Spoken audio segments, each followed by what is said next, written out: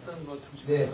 그러십시오. 어제 토론이 좀 어땠습니까? 좀 어제 어제 토론이 됐으면 상당히 유익한 토론이 될 텐데 라고 볼 수도 그 제가 좀 그 점에 관해서 어, 설명을 드릴 필요가 있다고 생각하는데요.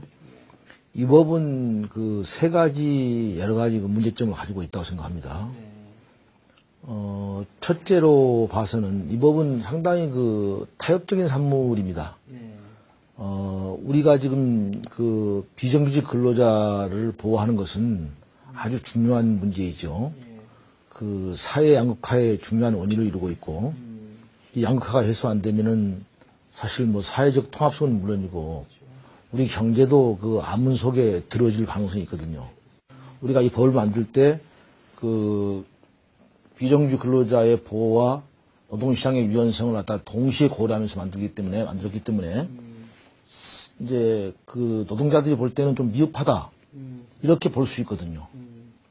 또 사용자들은 또 부담스럽다 이렇게 볼 수 있기 때문에 사실 서로가 다 원치 않는 법이 되어 있습니다. 이제 우선 기본적으로요. 예. 그리고 두 번째는 또 어떤 거 있냐 그러면 이 법이 뭐 사실상 재정법이나 다름없습니다. 처음으로 법을 만들었거든요. 그리고 다른 나라에도 그렇게 입법례가 많지가 않습니다. 그래서 우리 현실에서 어느 정도 조절하고 규제하는 게 좋겠는가 하는 데 대해서 굉장히 많이 고민을 했는데 그 경험하지 않고 법을 만들었기 때문에 처음에 정착에 법을 다루는 데는 한계가 있었습니다. 그래서 이 법은 앞으로 계속해서 개선해 나가고 발전시켜서 점차 완벽한 법으로 만들어 나가는 하나의 과정상에 있는 법이라고 할 수도 있습니다. 세 번째로는 이 법 그 밑에는 기본적으로 그 이데올로성이 깔려 있습니다. 이데올로기성이. 하나 이건 그 담론입니다. 거대한 담론이죠. 이 담론은 담론 이상 그 담론을 바라보는 어떤 사람들의 이데올로기가 깔려 있죠. 그게 추진적입니다. 그래서 우리는 이 담론을 계속 우리가 이어나가면서 그 의사가 모아지도록 노력하는 그런 어떤 그 노력이 필요할 것입니다. 문제 사실 그 고용보장과 차별시정이라는 두 가지 우리가 목표 중에서 더 중요한 것이 차별시정입니다. 그 기술이 발달되고 산업구조가 바뀌기 때문에 이제 고용의 형태가 다양화돼서 비정규직이 필요한 어떤 그런 그 업종들이 많이 늘어나고 있습니다. 그리고 또 우리나라 국민 중에서도 스스로 비정규직을 원하는 사람도 꽤 있습니다, 이제. 그, 우리가 조사한 통계를 보면 우리나라 그 정규직, 비정규직 중에서 거의 절반이 자발적인 비정규직이다. 이렇게 얘기할 정도로 요새는 이제 파타임을 스스로 원하는 사람도 있고요. 그래서 이 비정규직 자체가 악이다. 뭐 있어서는 안 된다. 이런 건그꼭 옳다고 보지는 않습니다, 이제. 오히려 문제는 그 비정규직과 정규직이 같은 일을 하고 있는데 불합리한 차별을 하는 거. 이것을 해소해 주는 것이 가장 중요하죠, 이제. 그래서 저희들은 특히 이 법에서도 그 차별 해소에 중점을 두고 있습니다. 어제 새롭게 그 선언 성명서를 낸 것을 제가 봤습니다. 봤는데 내용을 보니까 어, 공익위원회 그 인선과 운영에 있어서 공정성을 지한다면은 그 협의체 결론에 따르겠다 이렇게 얘기했는데 어, 이런 그 진전된 아니기도 하고요. 거기에 따라서는 협의체 결론에 따른다고 했으니까 이제 문제가 해소됐다고 볼 수가 있는데 예, 철도 공사에서도 그 지금도 조건이 달려 있는 것이 아니냐 하는 그 명확성에 대해서 약간의 문제를 제기하고 있고 아, 우리 노동부 내에서도 보다 분명하게 했으면 좋겠다 이런 또 입장이 있습니다. 그래서 그러니까 이제 지금 현재 그 공익위원회 인선과 운영을 뭐 공정하게 한다면은 했는데 지금 추상 인선은 뭡니까? 인선은 이제 끝나면 협의를 해 나갈 테니까 인선에 있어서 불만이 있으면 아예 협의가 안 될 거 아닙니까?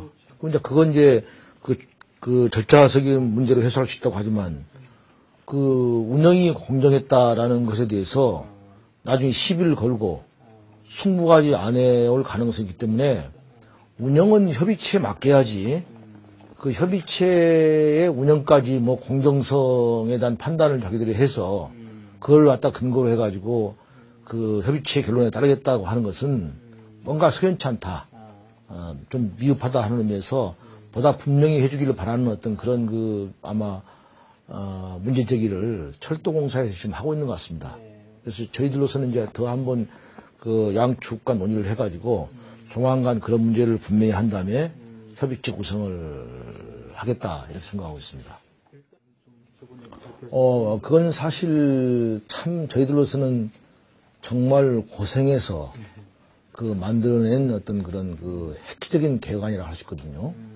그래서 저희들이 그 공공 부분 비정규직 추진단을 만들어 가지고 그각그 부처에서 상근 요원이 파견 나와서 일을 해서 어 지난번 6월 달에 발표를 했지 않습니까? 그래서 이제 그 7만 명에 해당하는 사람을 9월 말일자 그러니까 이미 지나갔죠. 이제 그 다 전환하도록 이렇게 했거든요. 그래서 전환 내용을 10월 말까지 보고하도록 돼 있습니다.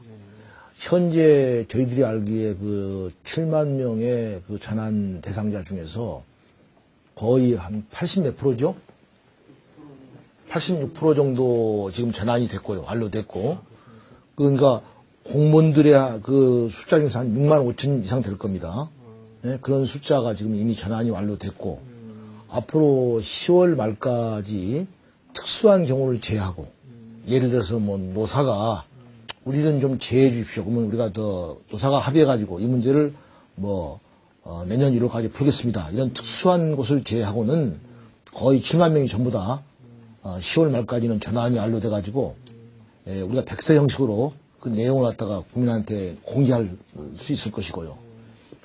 어, 저는 이제 기업한테 이런 얘기를 하죠. 정말 기업하기 좋은 환경을 만들어주는 것은 정부의 의무이기도 하다. 또 우리 경제가 정말 무한 경쟁 시대에서 그 심차게 앞으로 발전해 나가려면 여러 가지 우리가 그 배려를 할 필요가 있다. 그렇지만 기업도 이제 좀 변하는 환경 속에서 새로운 패러다임을 가져야 되는 것이 아니냐 생각한다. 우선 기업이 너무 단기 이익주의에 매몰돼서는 안 되겠다. 너무 단기, 단기 성과에 급급하지 말라. 문제를 좀 장기로 봤으면 좋겠다. 그래서 이제는 저임금에 기초한 어떤 그런 경쟁보다는 품질에 기초한 그 생산성에 의한 경쟁을 하는 어떤 그런 체제로 가야 되지 않겠느냐. 그러니까 품질도 고급화시키고 생산성을 높이고 이렇게 해서 경쟁을 해야지 계속적으로 저임금에 기초하는 어떤 그런 그 경쟁은 한계가 있다. 이런 생각을 갖기 때문에 그런 점을 강조하고요. 그 다음에 이제 한편은 그 저희들이 정기, 정규직 그 뭐냐, 어, 대기업의 정규직 노동자들한테 에, 많이 얘기하는데, 에, 좀 여러분도 양보를 하라. 그래서 노동시장의 유연성을 확보하는데 여러분들이 좀 기여해라. 뭐 해고의 유연성, 고용의 유연성, 또 임금의 유연성으로서 뭡니까? 예를 들어서 임금 피크제 예, 이런 것을 도입하고 성과급 도입하는 데 대해서 좀 양보를 하게 되면은 노동시장이 유연화되면은 기업이 비정규직을 정규직화 쓰더라도 좀 부담이 적을 거 아니냐. 한편은 비정규직 근로자들한테도 너희들 한꺼번에 모든 걸 얻으려고 하지 마라. 좀 단계적으로 얻으려고 하라. 그러면서 저희들이 하는 얘기가 어, 지금 뭐 중규직이라 해가지고 고용은 보장하되 차별 시정은 단계적으로 하겠다. 이런 것도 저희들은 뭐 필요하다면 수용할 수 있다는 얘기죠, 이제.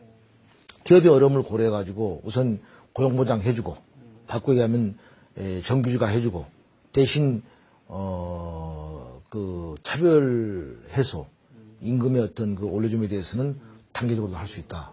이런 생각을 갖습니다. 그래서 우리 모두가 단계적으로 문제를 사고해야지 한꺼번에 그냥 갑자기 다 얻으려고 하면 안 된다. 그래서 서로가 정말 양보하고 서로 머리를 맞대고 나가야 되지 않느냐.